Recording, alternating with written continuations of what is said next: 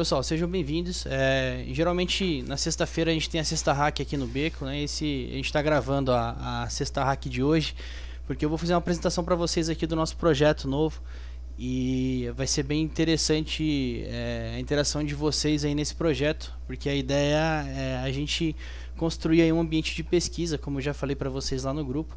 É, esse vídeo ele vai ser disponibilizado no YouTube para quem não conseguiu chegar aqui a, a, tempo hoje, né? Ou não conseguiu vir aqui no, no, horário da sexta hack. Eu sei que tem muita gente aí que, que trabalha na, na, na sexta-feira até mais tarde, ou tem família e tal, acaba não conseguindo colar com a gente nesses horários. Então vamos, vamos seguindo aí. É, o nome do projeto é, é, Project, é o Project Octopus, né? Então a, a ideia do nosso projeto aqui é um grupo de pesquisa. Então a gente vai falar um pouco sobre é, security research. Então é, a ideia é assim, tem muita gente que, que acha que a ideia de pesquisa, né, ela tem que estar tá, tá sempre é, sempre relacionada aí à área de segurança. Então, é, se o cara é pen tester, por exemplo, automaticamente ele já tem que ser um pesquisador. É, mas não é muito bem assim que funciona. A, a parte de pesquisa é um pouco mais profunda do que simplesmente a pesquisa que a gente faz no nosso dia a dia aí de, de pentest, né? Então vocês já conhecem muita gente que, que faz bug bounty, gente que trabalha com, com pesquisa de falhas, né? E, e trabalha até mesmo como pesquisador. É, é, um, é uma pegada um pouco diferente da nossa pesquisa do dia a dia. Então a primeira coisa que é, é importante eu dizer para vocês aqui é que a ideia desse projeto é, não é um curso, vocês não, não vão entrar na parada para tipo fazer um curso de alguma coisa. É, a gente vai pesquisar junto e vai estudar junto. Então a ideia aqui não é vender um curso para vocês e não é que é, vocês tenham que, que desembolsar grana, coisa do tipo. A gente vai estudar em conjunto e a gente vai utilizar aqui o nosso Hackerspace né, como uma base, um local onde a gente vai conseguir trazer aí informações e estudar em conjunto. É, vocês já vão entender um pouco mais né, sobre o, o, o projeto. Então, o, o projeto Octopus ele, ele surgiu aí numa conversa entre com, com os brothers aí com relação à pesquisa, né, e pesquisa de segurança, porque geralmente o, o, próximo passo depois que você já é um pentester ou que você já trabalha com Red Team, já está na, na área, né, é você seguir para a área de pesquisa. Então, o que, que o pesquisador vai fazer? Vai, vai encontrar falhas, né, em, em softwares, em hardware, em qualquer coisa que a gente quiser encontrar falhas, né, e a, a ideia é publicar essas falhas, né? atribuir CVS para essas falhas e tal. Só que tudo isso demanda um, um, um tempo de estudo e demanda um, um conhecimento que é, não é simples da gente adquirir. Porque é, a gente costuma dizer, né, que pô, a parte de pentest e tal é, é o primeiro degrau ali da escada, né? Porque enquanto você está fazendo um pentest, você está utilizando é, exploit que outras pessoas criaram, você está utilizando falhas públicas, né? Você não está... É, muitas vezes a gente acaba achando, né, zero days ali em determinado software, é, principalmente quando a gente fala aí de, de clientes que a gente está atendendo, né? Às vezes o cara tem lá um equipamento X lá, a gente vai fazer um teste, acha uma falha naquele equipamento por conta do pentest, né? E aquela falha nunca foi documentada e tal. É, só que o, o, próximo passo, né, ali o, depois da, do pentest, é a gente começar a seguir na, na busca de, de vulnerabilidades em, em, produtos, em softwares e, e etc. Então, só para me apresentar um pouquinho para vocês aí, para quem não me conhece, né, é, meu nome é Victor Queiroz, né, meu nick é cat003 ou C41TX90 ou qualquer coisa que venha depois do gato ali é lixo de memória. É, eu, eu sou bem tester hoje, eu já fui líder de operação de Red Team né, na, na BRF. Atualmente eu trabalho no Banco Itaú como pentester, é web e mobile. E a área de pesquisa é uma coisa que eu tenho por hobby, né? Não é o meu dia a dia, não é, eu não sou pesquisador, não sou contratado como pesquisador de produto, e, não, não é esse o meu objetivo agora, né? Até porque isso demanda um estudo que eu ainda não estou nesse nesse nível. Então eu só trouxe uma apresentação de quem sou eu aqui para vocês porque eu estou à frente do projeto, né? E aqui no, no Beco do Exploit, para quem não sabe, a gente tem um Hackerspace aqui no Beco do Exploit, que é o, o nosso Hacking Club, né? O, o HC aí do, do Beco. E eu sou presidente do HC, né? A gente usa esse, esse coletinho aqui, pá, tem um, algumas coisas aqui que a gente não pode nem abrir para vocês sobre o grupo, que é só com vocês participando que vocês vão acabar conhecendo mais aí sobre o, o nosso grupo privado. E a ideia do grupo de pesquisa, né, a, a, o projeto Octopus, ele surgiu aí para a gente conseguir trazer o pessoal que quer estudar para dentro do grupo e a gente conseguir evoluir junto para um nível onde a gente consegue chegar aí num, num nível de, de pesquisa, né? É, então só para falar um pouco do meu background aqui, eu, fui, a minha formação foi de análise de sistemas, eu não, não fiz ciência da computação como eu gostaria de ter feito. Na época eu precisava fazer faculdade e, e trabalhar ao mesmo tempo, então ciência da computação era, era integral. Né? Então eu, é, a, eu, eu, gostaria de ter feito por conta de iniciação científica e ter seguido por caminhos de pesquisa. Desde aquela época acabou que não consegui. Né? Então fiz análise de sistemas. Depois é, fiz alguns, alguns outros cursos e tal, né? como por exemplo uma, uma extensão ali de de guerra cibernética e, e terrorismo, né? No, eu fiz pós-graduação de, de ethical hacking, é, tenho pós-graduação também em crimes cibernéticos e um MBA né, de gestão de cybersecurity. Tenho algumas certificações, né, como estou mostrando para vocês. Até o momento eu tenho CRTP, que é Certified Red Team Professional, SWP, que é de wireless da, da Offensive, Pentest Plus, Certified Ethical Hacker Practical, né, que é a, é a prova prática da, do CH, não é a prova de, de teoria. E tem mais algumas aí que estão no pente que eu não vou dar spoiler para vocês que acompanham o canal aí que daqui a pouco vai sair alguns reviews aí da, de umas provas que eu estou fazendo até o final do ano aí. Mas a, a, ideia aqui não é ficar falando de currículo. Por que, que eu trouxe um pouco do meu currículo para vocês também, né? Para mostrar que, tipo, eu tô na fase de pentest e não na fase de pesquisa. Então, se alguém tiver é, a, que está assistindo a gente aqui, né, vai participar do projeto e pensa, pô, mas será que eu tô no nível para entrar num projeto de pesquisa? É, muita gente que vai entrar aqui com a gente está num nível é, não muito alto de, de cybersecurity, vai ter gente que vai estar tá num nível mais alto, vai ter gente que já está num nível de security research. Mas a, a ideia aqui nesse projeto é que a gente vai guiar o estudo da galera e todo mundo vai ser é, vai iniciar, quem está iniciando já vai iniciar com um, um, checklist do que estudar e quem já está mais para frente também vai se ajudar com compartilhamento, é, compartilhando conteúdo e assim a gente vai conseguir fazer o grupo rodar. E a ideia é que depois que a gente tiver um nível suficiente para iniciar um projeto de research mesmo, pegar, sei lá, procurar falha em kernel Linux, procurar é, falhas em, em, frameworks, né, pegar frameworks é, de, de MVC e tal e procurar falha, produtos né, de, de mercado, até se a gente quiser, até entrar em programa de bug bounty, o que vocês acharem que vocês querem fazer aí com relação à pesquisa. Mas a ideia do grupo é que a gente faça isso em conjunto, porque é, é muito difícil de saber o que estudar sozinho, tá ligado? Eu não sei se vocês têm essa dificuldade também, mas eu já tive muito tempo batendo cabeça sobre para onde ir e não eu não tinha o que eu estou tentando proporcionar para vocês. Então, é, eu acho que a gente se ajudando a gente vai conseguir sair do outro lado de um jeito mais mais elegante aí, sem ficar se estressando, né?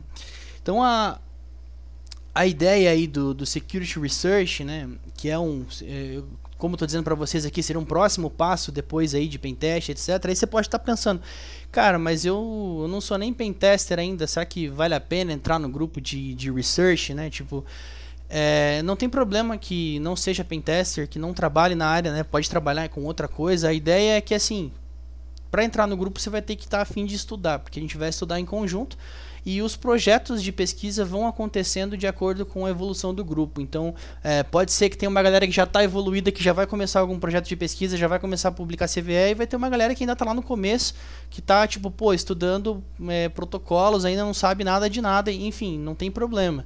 Se você tiver a fim de estudar e tiver a fim de participar, não deixe de, de se inscrever no form que eu vou mandar daqui a pouco aí, para a gente poder seguir em conjunto aqui com, com o nosso, nosso rolê aqui de estudo, beleza?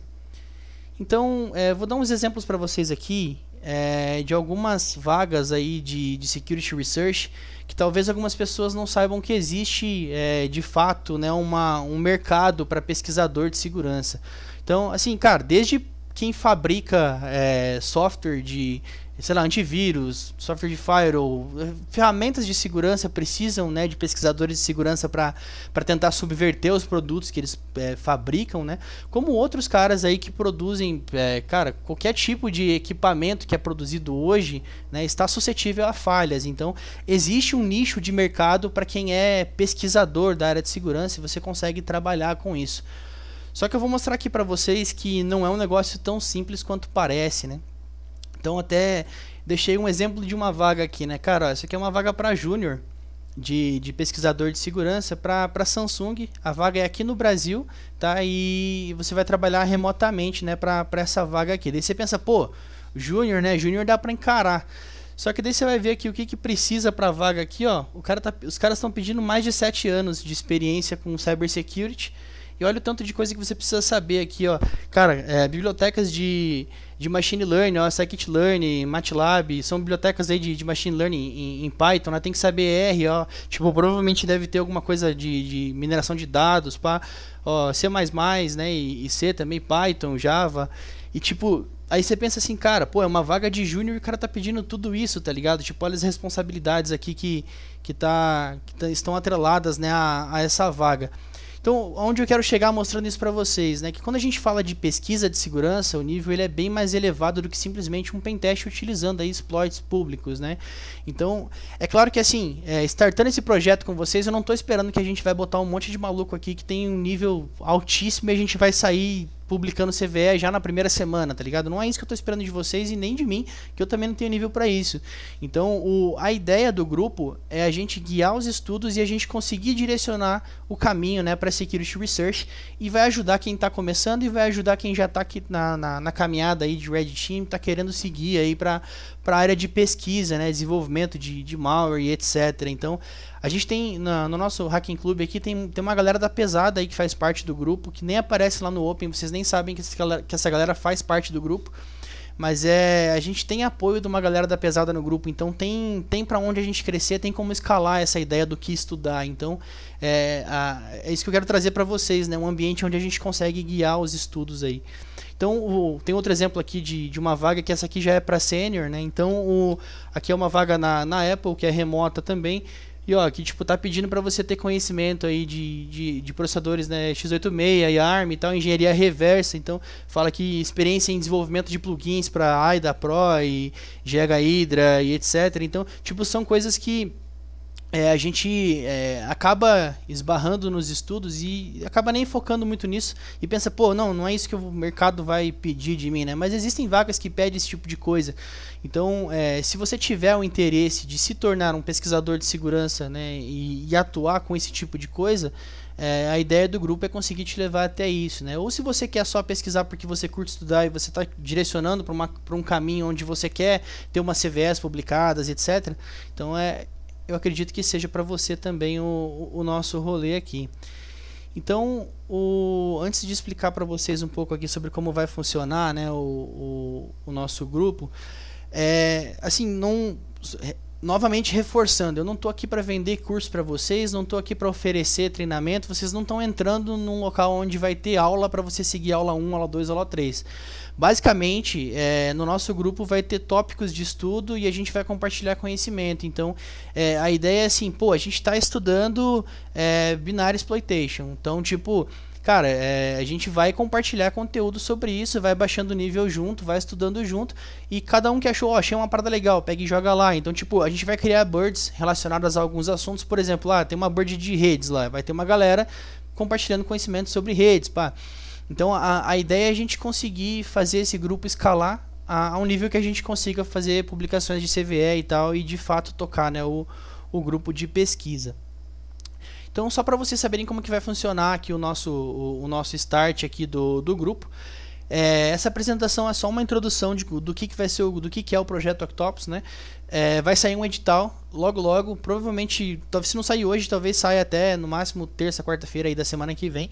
É, vocês vão poder acompanhar aí no edital é, o que, que qual que é a proposta, tudo certinho, né? A gente vai escrever ali ó, algumas coisas é, tudo que eu estou explicando para vocês, né, a gente vai formalizar tudo isso nesse edital, explicar o que, que é o grupo até para a gente poder dar um start de fato no grupo, né? A gente ter ali um, um, um, uma documentação sobre o que, que é o grupo, né?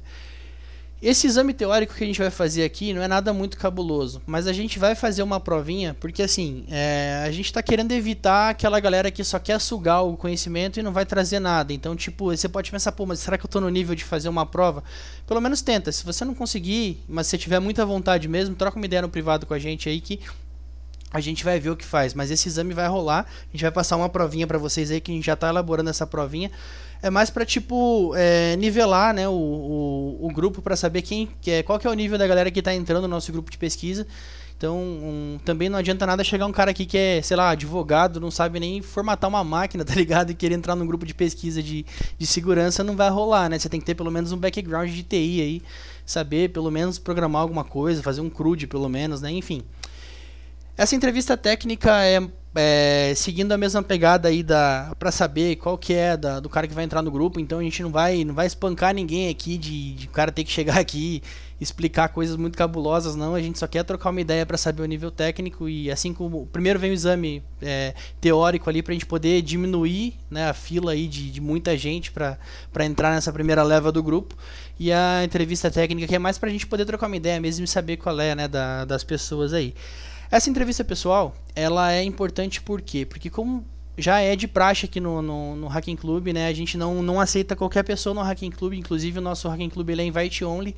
Então, o, essa entrevista pessoal, ela serve para saber com quem que a gente está conversando, porque, tipo, saber se a, as ideias da pessoa que está entrando no grupo é, de fato fazem, batem com as nossas ideias, né? A gente não quer ninguém aqui com ideias, né, que, de, de crime cibernético, etc, que a gente não está aqui para isso, né? E é para isso que serve a nossa investigação social também, que é mais no sentido de saber quem é que está colando com a gente mesmo. Não é nada demais, é, até quem se, não se sentir confortável com isso pode ficar bem tranquilo, que é tipo mais para saber se, não, se o cara que está andando com a gente não está cheio de processo, pai, tá vai entrar no grupo e, e fuder com o grupo, né? Não é essa a ideia. E aí a gente parte para a nossa iniciação aqui, então, que seria né, já de fato é, dar acessos aí pro, pro nosso grupo e tal. Que a gente vai ter algumas plataformas aí para a gente poder é, fazer algumas coisas colaborativas. Então, por exemplo, ah, a gente está tá estudando aí um, um desenvolvimento de exploit para determinada tool aí. Então, tipo, a gente vai fazer isso colaborativo, porque não adianta cada um fazer um negócio e não conversar também, que aí o negócio não vai para frente. Então, enfim. É, a gente vai seguir aí com como é que vai funcionar a parada mais mais adiante, beleza? Só para não ser muito prolixo aqui, não ficar repetindo a mesma coisa aí para vocês. Esse aqui é o endereço do Forms que a gente criou aqui só para vocês se inscreverem ali. O Forms é só para vocês passarem o, o endereço de, de e-mail de vocês e o, é, e o nick que vocês utilizam aí, né? Fazer uma apresentaçãozinha bem básica aí de quem são vocês, só para a gente saber aí se vocês estão afim, não estão afim. E quem tiver pensando assim, pô, será que eu tenho nível para entrar na parada, né? Se inscreve do mesmo jeito, tá? Que vai ter uma galera que está no nível mais iniciante e a gente vai direcionar o estudo dessa galera. Então, se você está aqui porque você quer estudar, não deixa de se inscrever que você vai, vai poder é, compartilhar conhecimento com a gente da mesma forma e vai crescer aí com a gente da mesma forma, beleza? Então, é só para finalizar rapidão aqui, é, o nosso grupo aí do, do Hacking Club, ele faz parte do Beco do Exploit. O Beco do Exploit é a nossa comunidade virtual que vocês já conhecem. Vocês estão aqui, provavelmente vocês vieram ou do, do canal do Telegram, ou então vocês estão assistindo a gente aqui no, no YouTube. Então isso aqui foi uma apresentação bem rapidinha do que, que é o, o nosso projeto aí. Só para a gente poder trocar uma, uma ideia mesmo, beleza? Então espero que, que vocês participem aí, que a gente tem, tem um desafio bem grande aí na, nas mãos aí para fazer funcionar esse grupo. E eu tô bem animado. Tamo junto?